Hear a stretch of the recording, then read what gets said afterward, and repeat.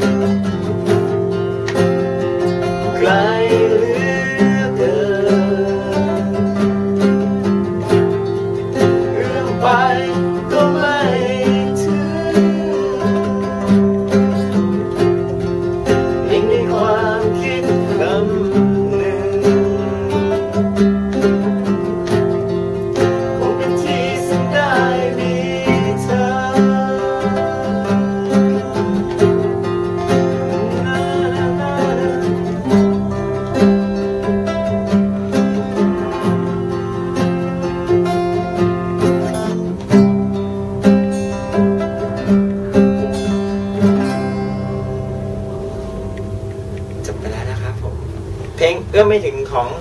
พี่ป้างที่บ้านค่ะพี่ป้างคนร้านใจน้อยนะครับ หัวจะลาแล้วครับ ฟังเพลงนี้ตั้งแต่อายุกี่ขวบครับผมอืมมสามอ๋อครับผมเกิดไม่ทัน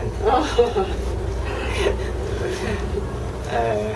ครับแต่ว่าเพลงเพลงที่สองต่อจากเอื้อมไม่ถึงคือเพลงชื่อประตูครับผมเกิดไม่ทันแต่ฟังทุกทุกเพลงเลยครับสมัยก่อนมันจะเป็นมันจะเป็นเทป ใช่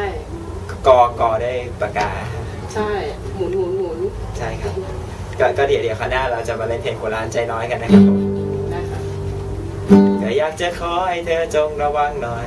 เพราะว่าหัวผมใกล้จะล้าแล้วครับตอนนี้ โอเคแล้วเจอกันเทคหน้าครับสวัสดีครับบ๊ายบายตะปังตั้งแต่เด็กเลยครับมาดูเพลงนี้